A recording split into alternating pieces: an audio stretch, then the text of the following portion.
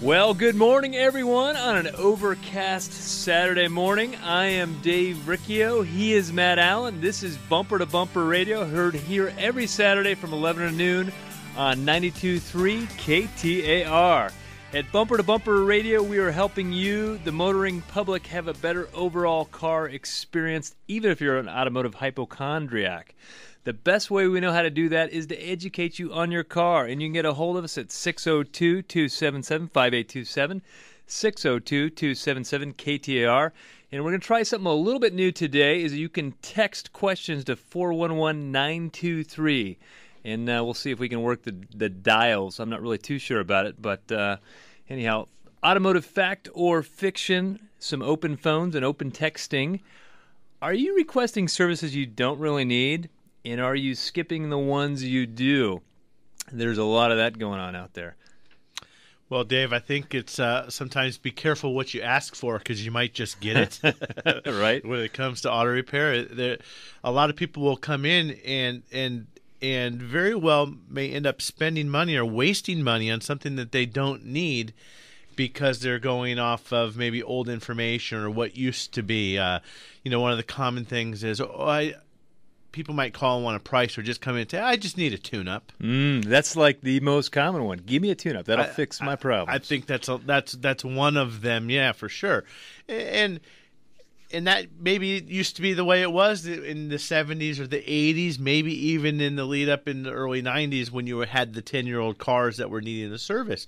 Yeah, you needed spark plugs every 30,000 miles. There was spark you know, plug wires at 60 yeah, cap, rotor, yeah. points, condenser, points, condenser, which they haven't had in in years. But the whole you know term tune up really means tuning. You're adjusting, you're tuning, you're tweaking, you're you're doing whatever you need to do to make the car run better. So before they got complicated, sophisticated, yeah, you get, you got to tune up every year, maybe every thirty thousand miles. Car ran a lot stronger after a tune up. I don't even think it's in your owner's manual. You can't even find tune up. I, I mean, you can tie, find a spark plug change. Well, yeah, and, and and and that's what I was going to say. Well, what is a tune-up? That's so subjective now. Tune-up, like we said, was points, plugs, condenser, just the carburetor, set this, put the probe in the tailpipe, see what's coming out. Well, you don't do anything anymore. The car is constantly tuning, constantly. So a tune-up now is basically replacing the spark plugs, but that's not really a tune-up. And I guess the point here is, people come in thinking that a tune up is going to solve that problem. Or the other common one is, and we see this in the summertime. I need, yeah, I, am just going to go get my oil change done. I want a cooling system flush, or, or typically people would say radiator flush. And so if you're a service advisor at the counter, maybe you're at the car wash place where that's what they like to do. They like to do those flushes. You bet You You want two? You know, we got a special we on special those. two today. Only ten dollars more on Saturday. so so you you you know so you get this flush. Well, in our shop, we're at the county. The service advisor is saying, "Well, wait a minute." Why do you want to flush? And this is part of that conversation that we're having, and, and where sometimes people feel like they're being interrogated. But what is it that you want to flush for? Oh, well, it's overheating. So now the story starts to come out. Yes. Well, we're And- interrogating you for your own good because we don't want you throwing spending good money after bad. And if you're having a if the vehicle's running warm or overheating, my car is overheating. What do you think we should do? That would be the way to approach the approach the counter versus flush it out. I mean, nothing's going to change, and really, the last thing you want to do is overheat your car. So that needs to be taken care of because you don't want to blow a head gasket a week later. Well, I bet you see this one all the time, Dave. Uh, yeah, I got just go ahead. I want to get my transmission serviced. Oh, is it due? Well, it's just it's not. You know, it jerks in between uh, second, third gear. It does this and. That- A service probably isn't going to help. It may or may not hurt, but you might be getting rid of some of the evidence that's going to help. Oh, the evidence is what we're looking for. So a lot of people will come to us and they just had a transmission service because they were having a problem. So they're they're crossing their fingers. They're hoping for you know a service will fix it. So they go and they request a transmission service, and yeah, you know like you may be at the uh, lube shop or the car wash. Say sure, no problem. We'll we'll service a transmission. They don't know if you need it or not, or maybe the fluid, maybe it's due, and maybe you do need it. But now it's at the transmission shop, and we're looking at it. We can't really tell what's going on with the transmission because we lo- we lost the blood that we needed to check. So transmission service almost never fixes the problem. I mean, there is a couple cases and a couple instances where it does, but most of the time it doesn't. Well, it'd be like going to the doctor and going, uh, "Okay, I'm going to need a script for uh, whatever I don't know, I need some penicillin, I need some uh, whatever, and uh, go ahead and write me up that order for this blood test, and uh, yeah, and the doctor's gonna be like, what? We're, Well- we're not just okay. Here's a shot. Bend over. Well, you know, and then and, and then you know people call in over the phone and they're they're requesting prices on these things because they they would say, well, you know, I think I'm going to need a coolant flush because my car is running warm, warmer than I think it should be. So they're they're calling around trying to get a price on this coolant flush, and and really people will sell it to you whether you need it or not. So I think it's best to go in with this is the problem, this is the symptom I'm having. What do you think? Now, in some instances, a tune-up will fix your car. If Well- it happens to be, if a tune-up, as defined as change the spark plugs and spark plug wires, you may have a you know fouled out spark plug or spark plug's broken down, wire is broken down, and that happens to work in that instance. But you can spend a lot of money, go ahead and do the plugs and wires, and then you still got to fix the problem. Well, and what you were describing too er, a minute ago, Dave, is is how you really start going down the road, the the wrong path. I mean, you're you're headed for a disaster. So you're pri- you're getting you're out shopping for the lowest price on something that you think you need, that you may or may not need. So price and maybe an old wives' tale or or a seventies, eighties, early nineties thought process of oh well, I just need to flush it Well, that's it. You and can, then you're going for the cheap thing. Now all of a sudden you're you're at some place that maybe we'll just do it and not be one to ask you those questions. you're going to create an extra step in the process and i think i think people like to do that because i think they want to avoid like they think well if i can just get a transmission service it's going to fix the transmission issue i'm having rather than the transmission shop sell me a transmission so maybe that's some of the fear and they're they're just hoping for the best because people do not tell us right off the bat there's a problem. We've got a couple of uh, trick questions so if you shop at tri-city transmission we ask you on a scale of 1 to 10 how well do you think your transmission is working? Well if they say 8 we get concerned. If they say 10 we're like okay we'll service it you know but we want to make sure that we're not going to make a problem worse or aggravate it by we're not going to be doing you any favors we don't want that to happen well, and then there's another common one. We we we Dave we picked what four or five things. Tune up is one. Radiator flush, a transmission service.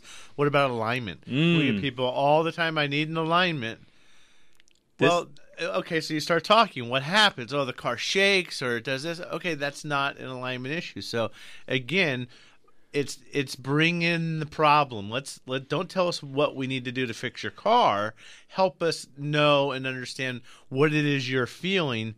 And, and what the symptom is, so that we can take you down the right road. Well, speaking of alignment, uh, you know, people get an alignment because they think their car's pulling, or maybe their steering wheel doesn't quite line up with the road. It's off a little bit.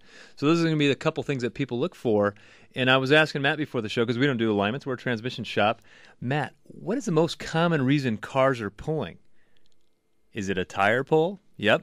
Yeah, it's it's the it's the tire now, and you may the tire's what's causing the pull. Now, unless you went out and just clobbered a curb, or you're driving in Pothole City, wherever that is, or off road a lot, you probably don't need an unless there's some event that all of a sudden, wow, I walloped the curb and now the car is pulling.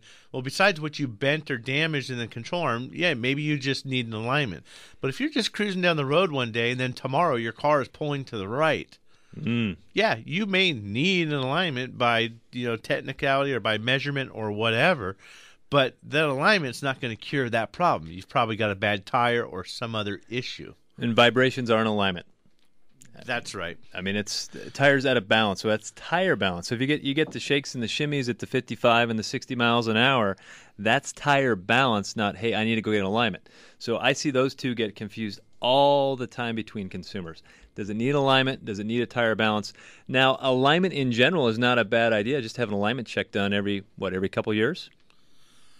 Yeah, I would typically time an alignment around the event of replacing tires. Uh, and that's something that your your tire shop, you know, discount S&S tire, wherever wherever it is that you're having your tires done, your regular repair shop, you can tell. I mean, if the tires have are, are nice, even, smooth, worn out across the tread pattern, well, yeah, you, an alignment it may not be a bad idea, especially since you're making the investment in new tires. If you see the tires are chopped and cupped and and all goofed up, well, then yeah, you definitely want to get get an alignment.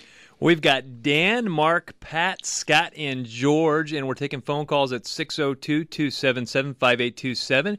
You can also text us at 411 923. You're listening to Bumper to Bumper Radio. My pappy said, son, you're gonna drive me to drinking if you don't stop driving that hot rod Lincoln. Bumper to Bumper on News Talk 92.3 KTAR. Well, welcome back to Bumper to Bumper Radio. I am Dave Riccio here along with Matt Allen, who was very unmotivated when he got here this morning, and uh, I think clouds, I've cheered him, man. These cheered him up a clouds little bit. and overcast just. Uh, This must be what it's like to live in Seattle. I don't know if I could handle that. I did enjoy a bike ride this morning with Michael Henry, and uh, man, a good trail. You know, there was no traffic, which was good. So, anyhow, we are getting some text response. We're gonna have to figure out how to do that. That's a little bit of overstimulation from my mind. on a gloomy Saturday morning, or bringing in some new technology. I don't know. I'm well, let's nervous. go with Dan in Queen Creek on a 1999 Ford F-150. Go ahead, Dan. You're on Bumper to Bumper Radio. Hey guys, thanks for talking with me today. Hey, I got a the '99 F-150, and it's when I start it, it seems to be making like a whirring noise coming from the engine, and then it sounds like the wheels are kind of not screeching, but making a squeaking noise. Not like it's a loose fan belt, but I do suspect that it is the fan belt, and I'm just not real sure. Before I replace it, I want to make sure that's the issue. Well, I'm thinking, I'm thinking you if we got a squealing or squeaking belt, you know, there's two concerns there. There's the belt as one, but there's also a belt tensioner that uh, Uh-huh. that also plays into that. Do you, Okay. Did you say the wheels were squeaking, like when you turn the wheels, or when you actually no, drive? No, no, no, like the the pulleys, you know, Okay, okay. In, inside. The, it sounds like it's the AC one um, when I have the AC running. It kind of makes like a. It's they're not screeching like when you know you have a loose fan belt or whatever that makes that screech. It's not like that. It's kind of a low, Sure. quieter um, squeaking, and, and it only happens after the initial whirring. And how many miles? Um, how many miles are in this truck? Just over two hundred thousand. Okay. Well, what you're going to want to do, what we're going to do in, in the shop, most technicians when they look at that and they're going to hear that noise. Um, there's a couple things you can you can put some water on the pulleys and and if the oh I forget now if the noise goes away it's a tension issue if it uh, picks up it's an alignment issue I don't know maybe I don't know if I'm confident yeah. to go to Virginia Auto Service. Come on now. but what we're going to do, we're going to take the belt off the car. And then we're going to spin each individual pulley. With 200,000 miles, y- if those are the original idlers and tensioners, yeah, I'm sure they need to be replaced. The manufacturers of these belts and tensioners now, Gates is one of the big OE manufacturers.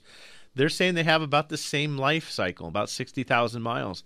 The belts are gone, and so are the so is the tensioners and the pulleys, and we're seeing that. A lot of them are plastic components and stuff.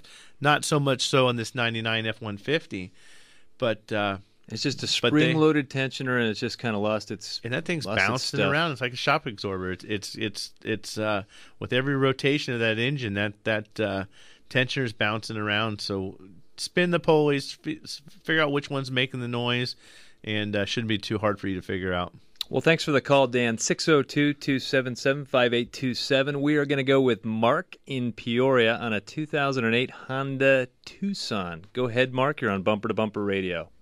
Hi, guys. Thank you. Um, I have a check engine light that works intermittently. I had my car into the dealership for service, and it came on, so they checked it. It said I needed, uh, well, the warning was code was a torque converter, and the dealership, you know, doesn't do transmission work. They just replace transmissions. And uh, then I was getting a new battery at Pep Boys the other day, and my light was on again, and they told me also it was a torque converter. So my question is, rather than going all the way to Tri City, is there a reputable transmission place on the west side of town? I live in Peoria. Is there a place in Glendale or Peoria you would recommend? And secondly, could this be something as simple as uh, a sensor or something like that? I have no problem with shifting or uh, power or anything else when I'm driving. And how critical is it? And do I need to do something immediately? My light is off again. It's an intermittent uh, right. light. Well, I got two answers for you. I'm perfectly certain that Tri City Transmission is worth the drive. Okay. number one. And then number two, you had a battery replaced right around the same time. And uh, the code that you're getting is going to be like a P0 740 or 741. And what the torque converter does, it's a connection between the engine and transmission. When you come up to a stoplight, the torque converter disconnects. It's no different than a clutch in a manual transmission. It it when you take your foot off the brake and give it gas, it engages. Well, it's only about 90% efficient until the clutch, torque converter clutch, TCC, applies and it locks it up. So you get one turn in, you get one turn out. And what the computer is doing is recognizing it's not getting a full output out of that torque converter. So it, the engine says, "Hey, we put one in, and we're only getting 0.95 out. So we may have a problem with the clutch." On the Hyundais, they are so sensitive to battery issues and alternator issues. I've seen those P0740 codes set on Hyundais just for battery issues. So definitely needs to be diagnosed. I mean, we're going to look at it in a scanner and see if we're getting complete lockup. I didn't catch how many miles you had on that Tucson you know, if but but it is something where maybe the torque converter be replaced. It could be a solenoid, but more than likely, I would make sure the battery wasn't the issue. I mean, it happens a lot. Well, you just had the battery replaced, and, and, and that's the other thing is the battery, the new battery, have the, enough cold cranking amps? Does it have enough reserve capacity? Where when you're turning the key and the air conditioner's on, you want to start the car, it's not getting run down. They're ultra sensitive. We see a lot of check engine light problems that are just a battery. That's the where you've got to to, to start. Obviously, to start. Well, the other, and, and, in all seriousness, we do have a shop. You can go to see Dave Denman at uh, Dave's Car Care. They can certainly handle that for you. But one of the things as a consumer, sometimes we pull in these little shops and we get a battery and we get a little piece of information that says, "Oh, you need a torque converter."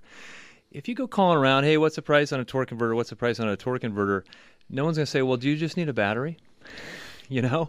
We could be you know that's asking for a service you don't necessarily need. It really needs to be diagnosed. And when you get those codes from the little auto auto parts store whatever it is it's just a starting place.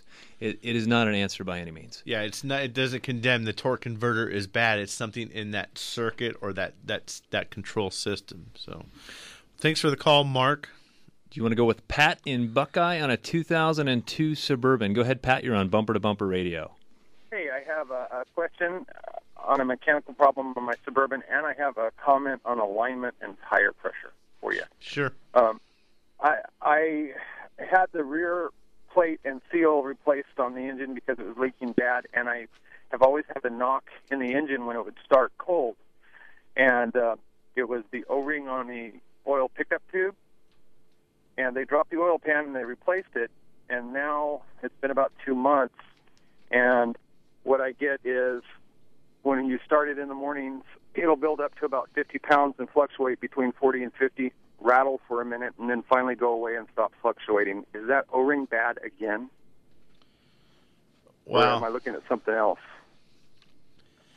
Well, it that's hard to say. I mean, it it sounds like it was just recently done, and I can't imagine that that O ring would be bad. And, and, what was happening there with that old O ring that was hardened up or dried is it was sucking air, so you weren't getting getting full pressure. It's trying to compress a foamy yeah. mixture of oil. So th- that's hard to say. Um, you know, that's one of those things where you've just got to hear it, and and that is not a uh, an easy job. That V8, you know, pulling that like you used to on the older generation Chevy V8 is not um, something where you just pull it down and uh, pop the oil pan off. That's that's a quite an involved job. It looks like there's been a couple of recalls here recently, actually three within the last month. Two from Toyota and uh, one from Ford. The two from Toyota, one was for Lexus and Toyota Highlander. They were both for the vehicle dying and you know losing steering and that type of thing. Uh, and then the one from Ford is the steering coming disconnected. So anyway, when we come back, we're taking your calls at 602-277-5827. Well, good morning and welcome back to Bumper to Bumper Radio. I'm Matt Allen, and this other guy standing across from me is Dave Riccio. And like always, every Saturday morning, we are here helping you with your car. You're sure a lot more perky than you were 45 minutes ago. I was even 45, ready to go home. Even 45 seconds ago, I'm looking out the window. It's all gray, and I'm like, I don't know. I, I kind of enjoy it for a change. This seems like this uh, August, September have been pretty good for these kind of days. I'm enjoying the monsoon. Uh, I'm done with the heat. I'm just sick of it being hot.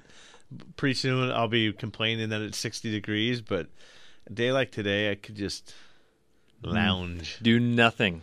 I did. I did nothing for three days last weekend, and I I can't do that this weekend. I got to change a light bulb or do something around the house. Right. Well, up first this segment, we're going to go with Scott in Scottsdale. He owns the place, I guess, on a 2006 Toyota Tacoma. Go ahead, Scott. You're on Bumper to Bumper Radio. Hey guys, um, I only have sixty thousand miles on my truck, and um, my check engine light came on.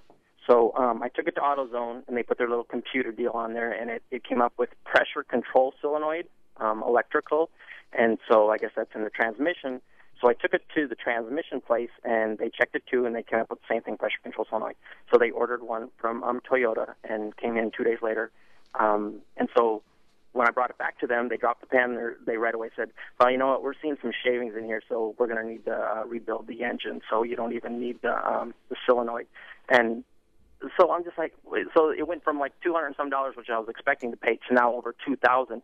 And so I was thinking, well, I mean, showed me this little piece of, um, you know, some, I don't know what it was, but I was just like, that's what's causing my problem. And and so I don't know. So I just want to, I guess, get a second opinion. But since they already put new fluid in and everything, is there, you know, they cleaned the pan and put new fluid. So is there any way I can get a second opinion on if I need my transmission rebuilt? It's uh, did did they go ahead and change the solenoid? No, he said he goes, well, let's not even do it. He, he goes because you need to have this whole thing rebuilt. Mm, I think sometimes people get a little overzealous on this one, and uh, EPC electronic pressure control solenoid was having an issue. The computer noticed a voltage error. The next step, if I was diagnosing it, would be to ohm out that solenoid and see if it ohmed out normally. I would check the wiring from the solenoid to the computer, make sure we've got good computer operation. But uh, you know that's an A340 transmission. Things are bulletproof. You know, at 60,000 miles, I would not expect to see much in the transmission pan. So, I mean, you know, and I'm not looking at it. Maybe there was stuff. Maybe there's some garbage in there, and maybe that's what fouled the solenoid. It's a possibility. But at that mileage, my first opinion would be go ahead and replace the solenoid. We've got new fluid in it, but let's try that first. Because when we remanufacture the transmission, we're going to replace that solenoid anyway. So it's certainly worth a try. I would not be scared to do that. Yeah, Scott, and if you go to bumper to bumperradio.com, there's a list of, of uh, very qualified shops there, a couple in Scottsdale that can take care of your problem. But on a transmission problem like that, it, it's best to find a good reputable transmission shop. And on the bumper to bumper radio.com, you'll see a link to Tri City Transmission uh, down in Tempe. It's it's worth the drive for that kind of specialty type of item. And for you in Scottsdale, I'm, I'm, I'm making the assumption North Scottsdale, but just right down the 101, it's right there by Tempe Marketplace. Probably probably worth doing. Well, thanks for the call, Scott. We're going to go with Joanne in New River on a 2004 Honda Civic. Go ahead, Joanne. You're on Bumper to Bumper Radio. Hey, um, I have a Honda that had 240,000 miles on it, and the engine went out. So we had a new engine put in. Well, it had 70,000 miles on it, a used engine. And then um, we're still getting a check engine light on, and the then we'll get a um, where it runs hot, but it only happens after we have run the car for about 50 or 60 miles. And then we took it in for the check code testing, and um, it said uh, transmission. So then we had a guy tell us that the whole transmission needs replaced now. Well, you say you. So I don't know what to check. Well, you said you still had a check engine light. Did you have a? Was there anything happening or any problems that led up to this with the check engine light before the old engine went bad? Yes, um, the we kept getting the check engine light, and the car kept overheating, and um, it we didn't we we take it in and the guy replaced like the radiator and then something else and something else. I forget what i'm sorry. But um it never solved the problem and then it kept showing hot and then one day it just quit running so we had it towed to Honda. They said we needed a brand new engine, and they wanted six thousand just for the engine. So we took it to a different place and had the engine replaced with a used engine. And so you have the same overheating issue after your used engine was installed.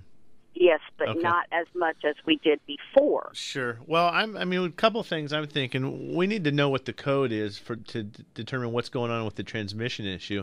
But you've got the same thing that caused your old engine to blow up going on with the the new or the used engine.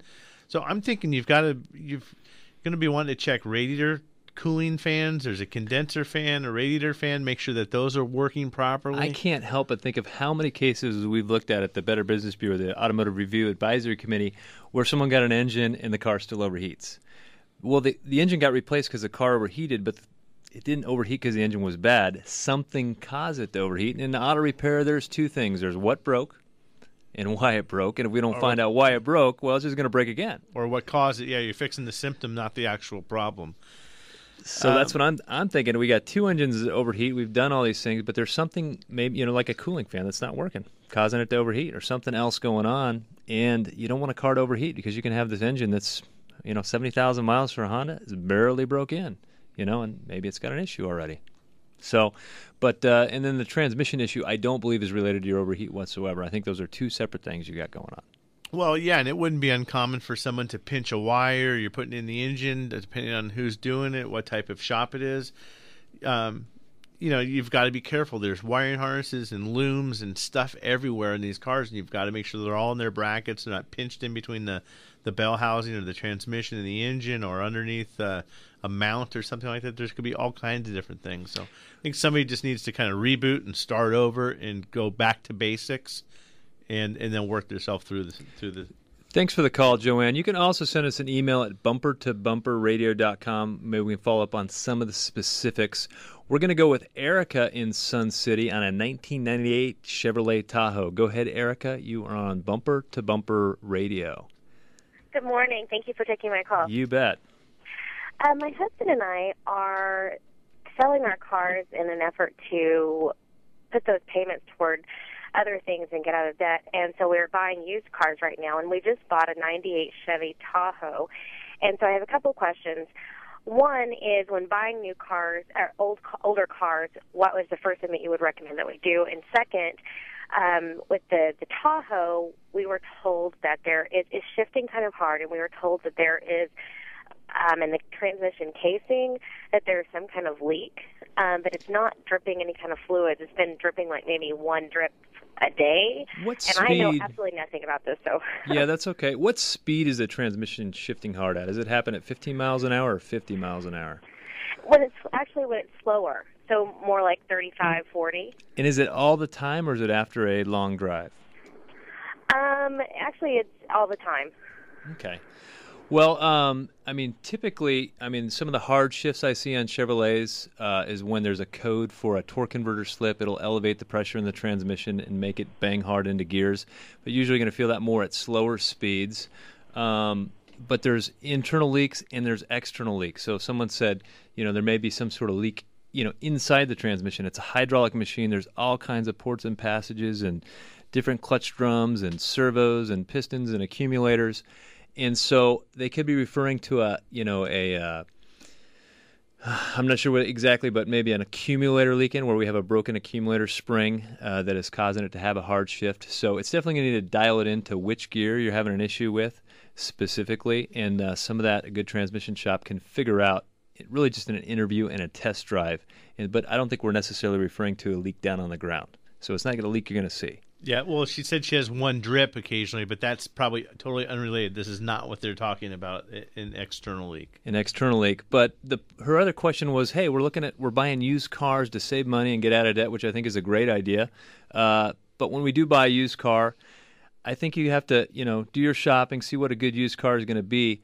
But oftentimes you got to buy that car, and then you got to go catch it up on all the maintenance that wasn't done from the last guy that was putting it off because he knew he was going to sell it.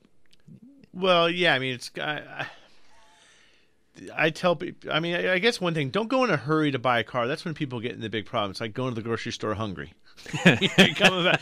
Don't That's go. exactly what it's like. don't like. take your money with you. You know what I mean? Because you're going to buy. Because you're going to find something about it. You know that sparkly this or that or whatever.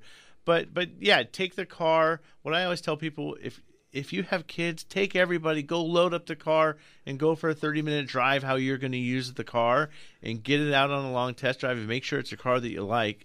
And like you said, Dave, well, besides the first and foremost, having it checked out by a shop that uh, knows what they're looking for and can kind of nitpick the car apart. Uh, and and then like you said, Dave, they're not people don't like fix everything on the car and then just go get rid of it and say, "Oh, uh, it needs all this work. Let's just fix it and then I'll sell it." But how many times So- do you hear that people buy cars and said, "Oh, they've just done everything"? To Oh, everything's car. done, yeah. everything to the car's been done. I mean, I hear that every time people come in. Oh, I bought this car; they've done everything to it, but it does need to be checked out. And uh, you know, some if you're going to look at c- having the vehicle for a long time, you may look at you know if it's got hundred thousand miles on it. Does it need hoses? Does it need a radiator? Is there anything I can do if I'm going to have this car for another four or five years? And and if, especially if you're buying a 70 or 80, 90,000 mile car, take a thousand dollars of your budget and set that aside and just shop for a little bit less expensive car. If your new car budget or your used car budget is eight thousand dollars, buy a sixty five hundred dollar car. So you got some money to put into it. Yeah, get a, get a little cushion and get your maintenance. Make sure your maintenance is caught up and current, and and have some uh, room for error, I guess. And I would say in the long run, it is cheaper to drive an older car with some miles on it versus driving a fancy new car in the driveway. I mean, that's the Dave Ramsey math, but it, it makes more sense. The tags are cheaper. You know, there's there's less to it. And the nice thing about driving an older car is you can pick the parking spot right in front of the door of the grocery store because you're not worried about anybody denting or dinging that thing. If I buy a new car, next thing you know, I'm parking, you know, hundred yards away from the front door just so nobody dents the And, thing. and you're the guy that takes up two spaces, right? I'm not that guy. Not that guy. Speaking of older cars, there's a.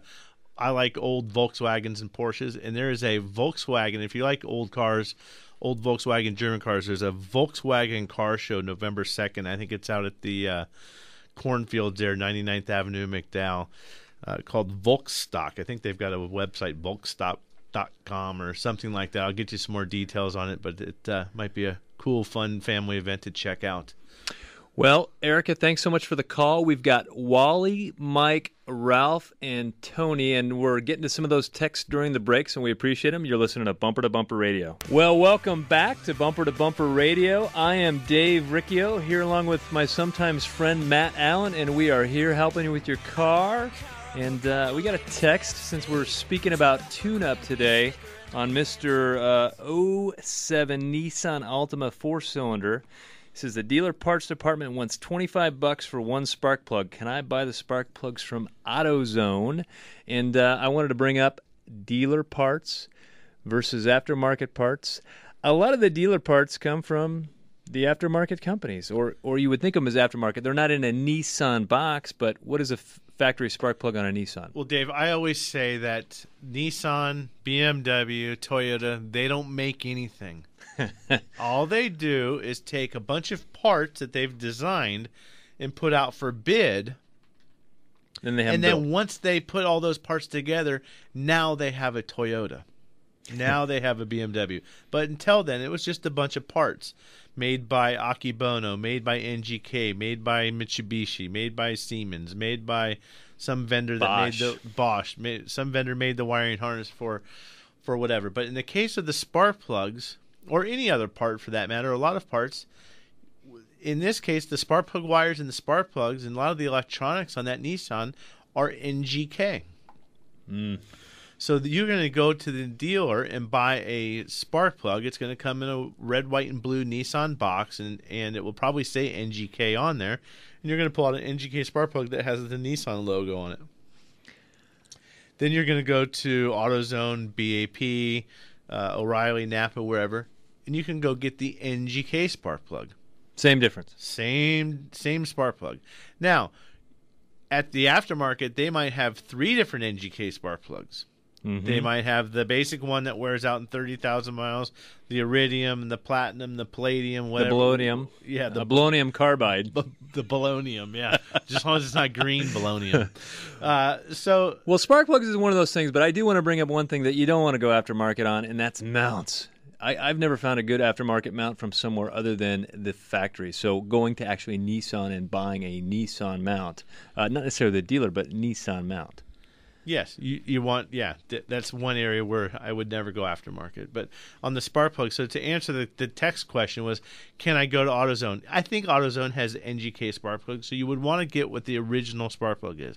Toyota, it's Nippon Denso. General Motors product, it's AC Delco. Uh, Chrysler product, it's a Champion. Audi might be a Champion, might be an NGK, might be a Bosch. There's so there's there's different variations, but I would stick with the original equipment electronics. Right, for sure. Well, we are going to go with Wally in Gilbert. on a 2003 Pontiac Grand Prix. Go ahead, Wally. You're on Bumper to Bumper Radio. I, I'd like to say thank you for taking my call, but I have it's uh, 2003 Pontiac Grand Prix GT, 155,000 miles on it. I have changed the transmission oil oil, oil on it about every 10 to 15,000 miles. Uh, I'm an ex-mechanic, that's why I do that. But what I've noticed lately is that uh, when I go to take off, sometimes it will shift one, and then go it'll go one, one, two, and three. You know, real like real quick, and then I'd have to hit down into the throttle harder to get it to come back down into second gear. And what my question is: Is there a way to adjust the shift points on this transmission? More than likely, just off the top of my head, that's a 4T65 at uh, 2003. Really, the shift points come from the computer. It's going to look at throttle position, how much your foot is in the gas, and it's going to look at vehicle speed. It's going to compare those two, and based off programming and mapping, it's going to shift the car based off those two. That's not to say we don't have a bad speed sensor. That's not to say we don't have a bad throttle position sensor that's causing it to shift earlier. But there's no, I mean, you could get into the software and the programming, and we're able to do it on our end where we can go in and change the programming, but it's not something we're normally doing because the factory software is pretty smart. So they put a lot of time and effort into when those shift points should be. Now, if that was a 1973 Grand Prix or an 83 Oh, Grand yeah, Prix, we would just we would change the governor gear, belt. put some bigger weights in there, bigger springs, do whatever, adjust the TV cable. We could definitely do that. But on the late model stuff, it's really done in the computer. And that goes back to our original topic with the tune-ups. The computer is the one that's handling all these adjustments. It's pre-programmed in. They're even adjusting for wear and tear. The denigration of the of all the systems is programmed into the mapping system or or or the uh, the running. For sure. Now, even before the break, I asked you, uh, or we were talking about, hey, when was the last time you adjusted an idle screw on a car? Doesn't Not- hardly happen, not right? Very often, some of the imports have some funky little air conditioning, idle speeds, and different things that you can adjust. But you're not you're not twisting screws and turning things and doing much anymore. We are going to go with Mike in Chandler on a 2011 Toyota Sequoia. Go ahead, Mike. You're on Bumper to Bumper Radio. Hey guys, thanks for taking the call. You Appreciate bet. it. Uh, okay, quick question. Um, so, like you said, it's it's uh, an 11 Sienna XLE.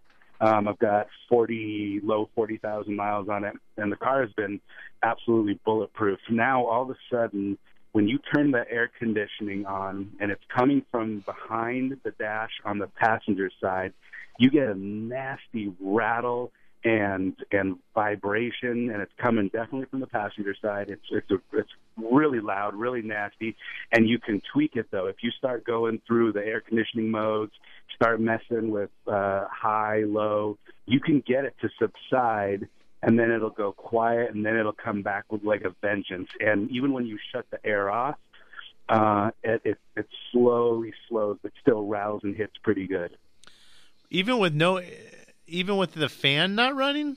No, no, no, no. Once you turn it off, and then you can hear it slowing down. Okay. You, you, you know, you know what I mean. It, it, it, in other words, if I shut it off, it doesn't just stop. It's almost like a, like a ceiling fan hitting something, and then it's when that's once it comes to a complete standstill, the noise goes away. Well, my my gut feeling is that there's something stuck in the fan. Now that car's got a cabin air filter, but it wouldn't be uncommon on cars without a cabin air filter. You see a napkin get sucked up Mhm. into the Little wrapper. into the dash, or or some kind of wrapper. Maybe a leave or something came from uh, from the outside on the windshield cowling, depending on where you're parking your car. That's what I would be thinking. There's something that's got in there, and it's like a spoke on the wheels of a bicycle. It's just tick, tick, tick, tick. It's it's uh, it's rubbing. You can maybe pop out the cabin air filter. Now I know I had this happen on my. I have a 2010 Toyota Tundra, and when we changed out the cabin air filter, a piece of debris fell down in past the filter and caused the noise. We had to pull the squirrel cage out or pull the little motor out, and uh, you know get that junk out of the out of the fan blade. Um, yeah, I'm thinking that's what's going on. That's got to be what it is. There could be a. You just don't see the problems on Toyotas like you do on the General Motors cars with the uh, mode doors flipping and, and opening and closing, getting getting stuck. Those those gears stripping out. So that's where I would be going up in the dash there and looking looking at the air intake for the recirculating of the AC.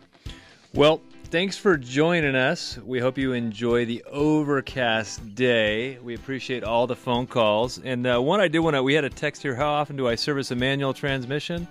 Every 30 to 50,000 miles is pretty normal. Some of them say lifetime fill. Not a big fan of that. If you got questions about that, bumper to bumperradio.com. There's a list of great shops there if you're looking for one. Thank you, Peter, for running the dials. Remember never to text and drive. I'm Dave Riccio. He is Matt Allen. And you can reach us anytime at bumper to bumperradio.com. See you next week.